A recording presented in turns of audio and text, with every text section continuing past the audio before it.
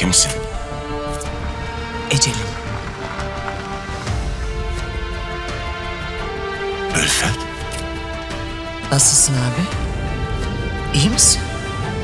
İyiysen kıymetini bil. Bundan sonra hiç iyi olamayacaksın. Seni gebertmediğime öyle pişmanım ki. Daha çok pişman olacaksın abi. Bunca zaman sonra ne istiyorsun? Oğlumu. Önce oğlumu, sonra da adalet.